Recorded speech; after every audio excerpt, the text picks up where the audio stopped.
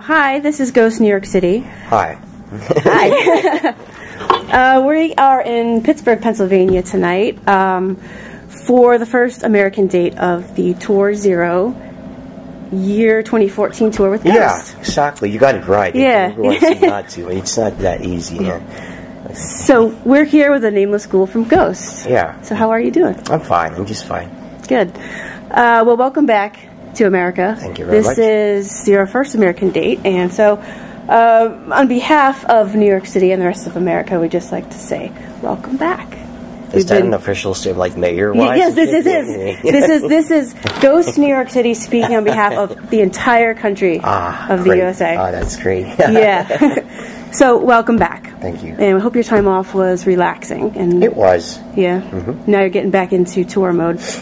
Yeah, it will take me another week or so, but yeah, I'm trying my best. Yeah. so, um, this is likely one of the last U.S. tours with Papa 2. And we know Papa 3 is going to be coming soon. So, do you think that when Papa 3 comes, we'll be getting these bigger, more theatrical shows that you've talked about in the past? Uh, well, I certainly hope so. I, that's, I mean, that's. I'd love to say so. Yeah, I wouldn't. I wouldn't know. I no one could tell. I, we could be playing.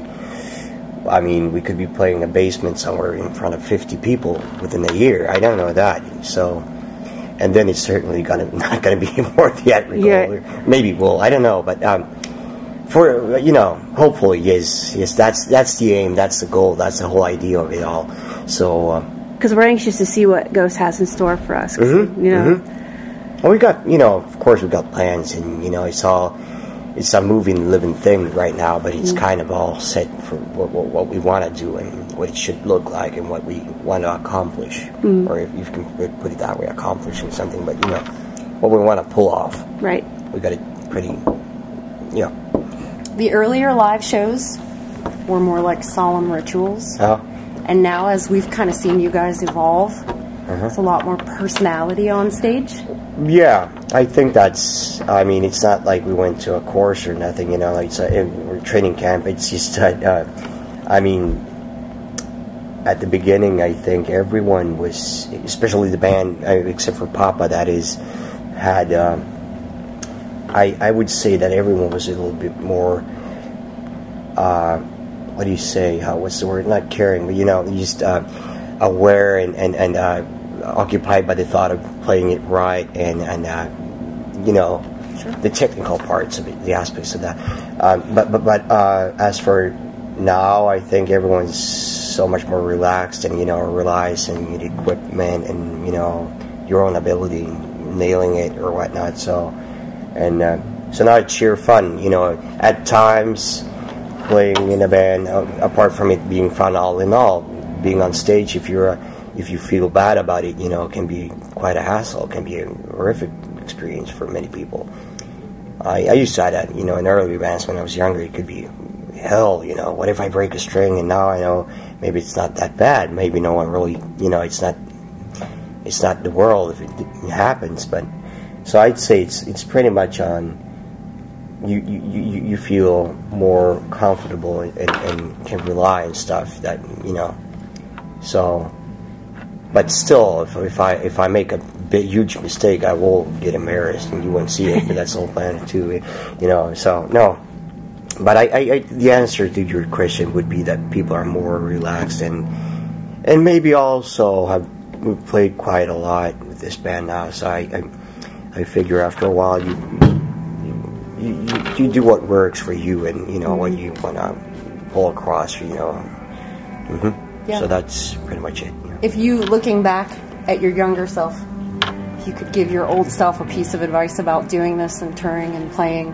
well, I, well I wouldn't do that because my present I is a result of my older struggles so no who knows who I'd be if I went back and told myself to do what I'm doing today maybe I would re- be retired that will know So you wouldn't have learned anything, essentially. Exactly. It's all. I mean, it's a travel. It's a journey too. You know. So it's a good question though. But no, I think I, I would say, you know, of course, I'd like to go back to my twenty-year-old me and say, "Hey, man, it's going to work out fine. So you just stay on your couch." Mm-hmm. But then it wouldn't happen. So while we're talking about kind of mm-hmm. touring and shows, um, mm-hmm. You guys tour a lot. I mean, it seems like you're always on the road. So what's the one thing that you can't live without while you're on tour? As for yeah, as for me, it's it's. Uh, I didn't used to bring my computer on the road. I it was just you know I didn't you know, but then I got this new one, the laptop one. This sounds silly, but it's actually, you know, I, I, I Skype, home or FaceTime, whatever you want to call it, or whatever service it is. With my family and friends, and it's like I mean, the world certainly shrinks a whole bit when you can do that. I, it's, it's been an ability for a long time, but I'm certainly that's important for me because you know I can. That's like stepping back into my living room where I also sit at the computer. So it's like it's a small piece of home or my environment, of course, and uh, and and of course your passport or whatnot. But but, but in terms of um, quality living, I'd say actually as silly a thing as That my computer. silly. No, you know that's Yeah. and I think that goes for pretty much everyone. That's their Yeah. personal space, or although they're being social via Facebook or whatnot. So it's you know I'm not really being alone either. So yeah.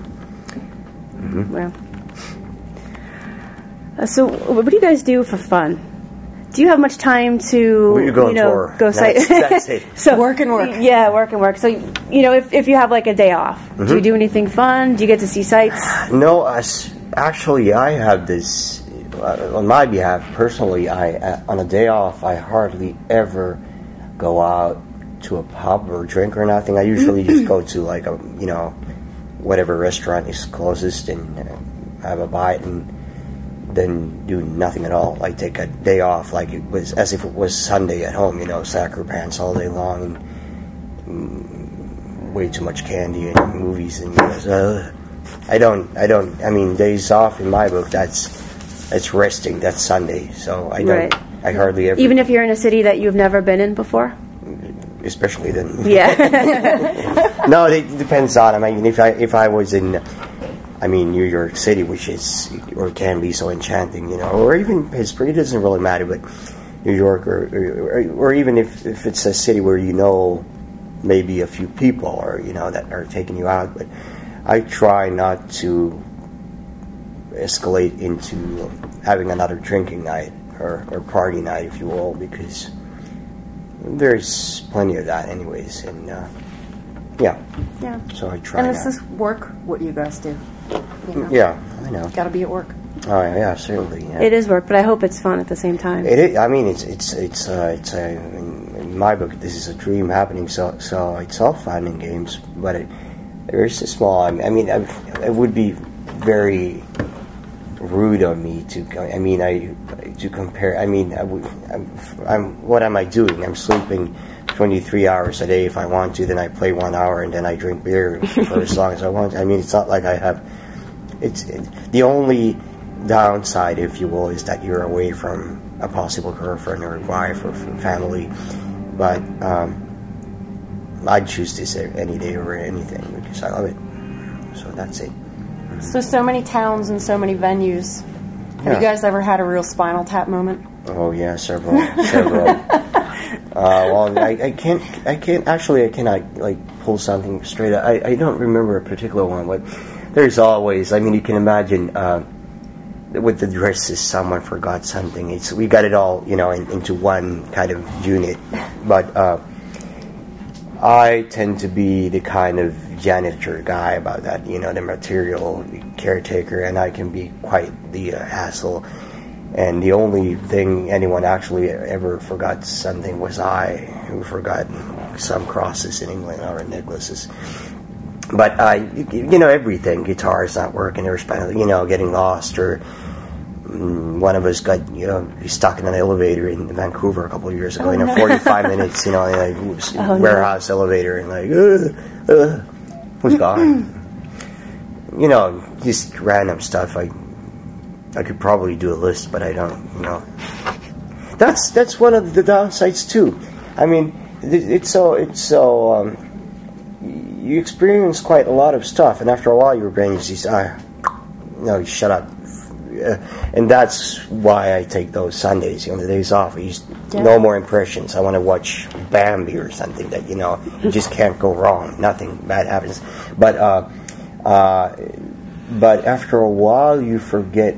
Uh, you tend to forget stuff that's. I mean, this day has been you know new experiences, but they get kind of watered down after a while because it's too much. So It's a blur. either you remember it all with a migraine attack, or you know, or you you kind of sort it out after a while. You just you know funnel it or whatnot. So, Yeah. but. mm-hmm. Do you think there's ever a chance that the band would ever do anything acoustic? Uh, I hope not. no, I, I'm not. I'm not against it in any way, but uh, I Ghost mean, I, unplugged. I mean, a ghost on ghost butt plug. More like uh, no, I, I don't know, but um, probably not. I'd say. I mean, I don't know what good it would do us or anyone else. I mean, of course, we might, or even, I mean, we might record a song with. Uh, you know, all acoustic guitars, and you know, more like a down tempo thing, more sacral. I don't know, but in terms of pulling off a concert, you know, at record store day with four guitars, no, I wouldn't say so. That's exactly what I was picturing. Yeah. Okay, yeah. That would be, you know, like No, a I wouldn't say like so. a contest and like you know a really know what you're small saying, yeah. room with you know that I think I think well I think the fans would love to see something like that. But. Probably, yeah. I don't know if we, if we if it. I don't know. I don't know if it's a. If I if I would enjoy watching that or not, which or we would.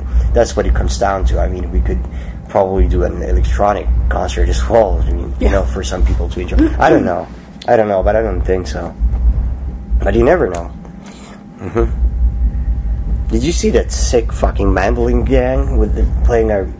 They had the, the mandolin ukulele, ukuleles. Oh, yeah, the the ritual cover.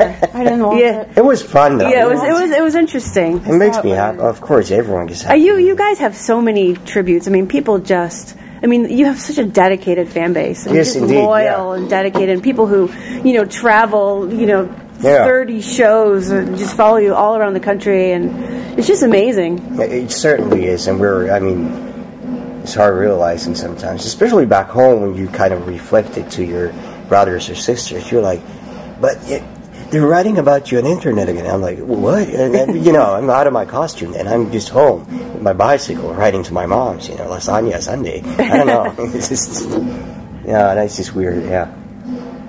You have a little. There's a little papa and a little ghoul outside in line. Oh my god. like kids, kids, or yeah. I think the isn't Uh, one of them is a kind of a young adult, Uh-huh. and Yeah. yeah, and I like that. That makes me. I mean, we played a show. I think it might might have been a year ago, or if it was in, I can't remember where. And this guy must have been like seventy five or eighty, some old jazz, you know, lover or something, up on the balcony. It was like, oh, what's he doing here? And then you know, he was. I, that makes me. The more an eclectic crowd we get, the more. That's what counts, you know. Every every different aspect of it. has the, has the crowd changed since from say from your first show to you know your last tour? You know, maybe you attracted a certain group of people the first time around, and now you say yeah, it's more sure. eclectic. You know, it was uh, it was a smaller but still a eclectic crowd the first times we played, but that was more a very much an underground crowd. I'd say more or less. You know, um, a couple of hipsters as well. You know, into that underground bit that week, but, but never mind. Um, but now I we see pretty much you know anyone with a music interest. You, you never know. You never know. For some people, we might come across as a costume fun thing. To, for, for some people, we might come across as, I don't know. It's just yeah, but it's certainly changed and uh, increased, like in uh, numbers, of course, but, but um, also the variation of the people, and I like that. It's that seductive songwriting. Maybe it is. It is. Maybe I hope It's, so. I mean, it's music that everybody can enjoy. Uh, it, I mean, if you were to take away the lyrics, Mm-hmm. I mean, the the music is you know for everybody really. Mm, I hope so. I like it. For Hope so. Yeah, Play it a lot. yeah. We have one last question for you. Uh-huh, uh-huh. So, what do you think are the top five or ten must-have albums for a vinyl collection? It, it vinyl doesn't matter, collection? you know, what genre you're talking about. oh, oh my God! I think that.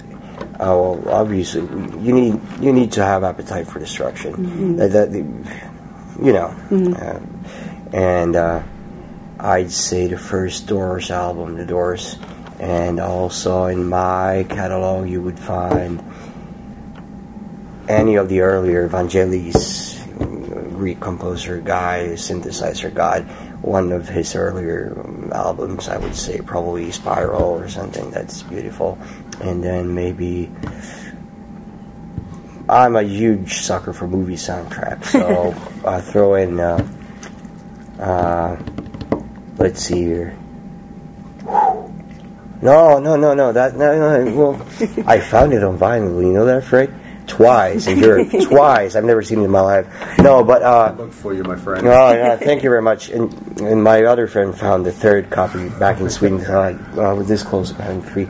But uh, uh, yeah, something by Morricone, probably Good, Bad, and the Ugly, the, uh, the soundtrack, and then uh, and uh, another soundtrack as well. I wouldn't know, but you know, any uh, old seventies soundtrack music, I love that. You know, it's you know. It's on now. Well, okay. Uh, it looks like our time is up. So thank you so much for taking time out of your schedule to chat with us today. My schedule this day has Yes. been nothing. yeah, so you're, all good. Yeah. Well, good luck with the rest of the tour, and we will see you, Thank you in so New much. York next month. Thank you so much for coming. Thank you. Thank you. Thank you.